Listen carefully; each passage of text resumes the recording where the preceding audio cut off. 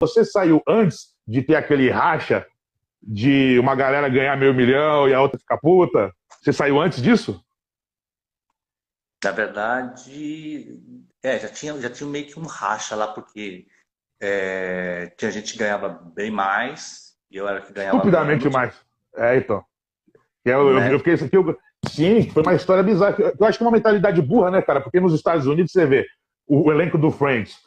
Porra, todo mundo ganha um valor lá, que é, que é uma equipe, né? Então os caras terminaram, todo mundo ganhando um milhão por episódio, todo mundo feliz, todo mundo, porra, se amando e tal, e ali meio que se criou essa gangorra, porque você fala, mano, nós estamos trabalhando igual, eu tô ganhando. É foda isso, né? Não, isso é estratégico, cara. Porque assim, cada um. Porque aí acontece, se todo mundo ganha igual, aí você fica. Você, você fortalece muito a equipe e a equipe chega junto e pressiona o, o, o chefe, ah. o patrão, para ganhar mais.